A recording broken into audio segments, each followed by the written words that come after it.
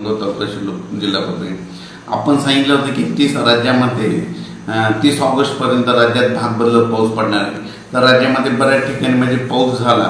पण आता त्यामध्ये बऱ्याच ठिकाणी राहिलेला पाऊस आहे तर सर्व शेतकऱ्याला सांगू इच्छितो. आता परत म्हणजे आज आहे बावीस ऑगस्ट दोन हजार तेवीस. तर आजपासून आज देखील पाऊस सुरू झालेला आहे. आता नेमका बावीस ते तीस तारखेपर्यंत नेमका कुठं कुठं पाऊस पडणार आहे?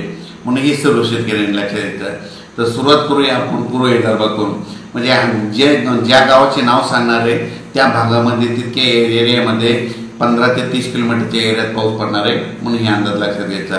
तर सुरुवातीला घेऊ.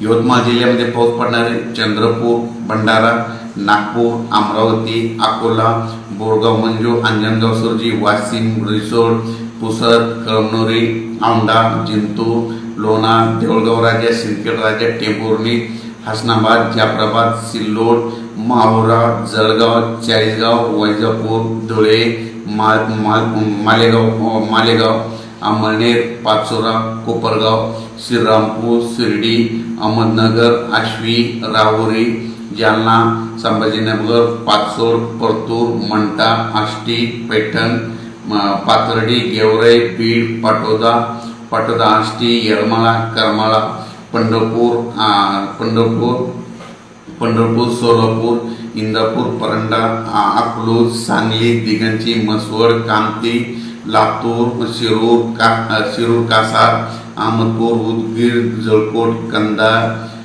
श्रीगोंदा कडाष्टी पाथर्डी वडीगोद्री उस्मानाबाद उस्मानाबाद पूर्ण बालमटाकळी तसेच सोलापूर जिल्ह्याकडे वळतो आपण सोलापूर पंढरपूर कामती मोहोळ उदगीर देगलूर मुखेड निजामाबाद धर्माबाद परभणी सेलू पाथरी मंटा जिंतूर बोरी सोनपेठ गंगाखेड पूर्णा वसमत माजलगाव गेवराई वडवणी या जिल्ह्यामध्ये म्हणजे ह्या जी गावाचे नाव सांगितले त्या भागामध्ये आजूबाजूला सगळीकडे पाऊस पडणार आहे. म्हणून हे अंदाज लक्षात घ्यायचा पण राज्यात एकंदरीत परिस्थिती बघितली तर म्हणजे हा पाऊस मध्य महाराष्ट्र मराठवाडा आणि पूर्व विदर्भ भागात पडणार आहे. म्हणून नेमका आता कोणत्या जिल्ह्यामध्ये चांगला पडणार आहे हे सगळ्या जिल्ह्याचे नाव सांगतो. तो पाऊस परभणी जिल्ह्यामध्ये चांगला पडणार आहे.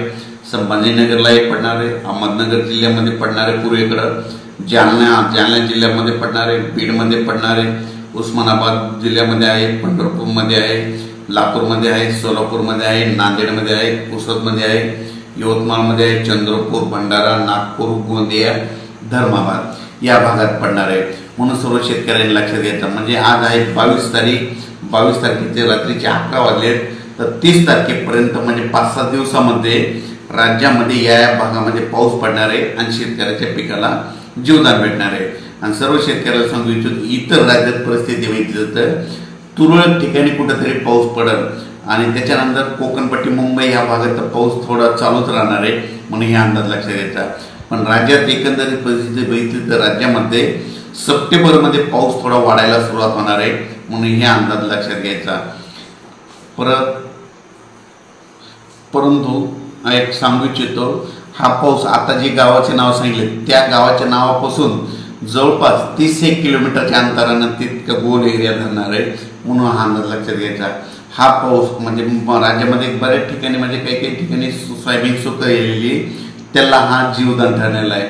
म्हणून हा राज्यामध्ये सर्वदूर पाऊस पडणार नाही. फक्त ज्या गावाचे नाव घेतले त्या गावाच्या तितके एरियाच्या तीस किलोमीटरच्या आत पाऊस पडणार आहे. तीस ऑगस्टपर्यंत ही पाऊस असाच राहणार आहे. म्हणून सर्व शेतकऱ्यांनी हा अंदाज लक्षात द्यायचा आणि परत आणखीन एक अंदाज दिला जाईल. आणि सप्टेंबरमध्ये देखील पाऊस वाढायला सुरुवात होणार आहे. सप्टेंबरचा अंदाज नंतर परत दिला जाईल. अचानक जर वातावरणात बदल झाला तर लगेच एकमेशी दिलं जाईल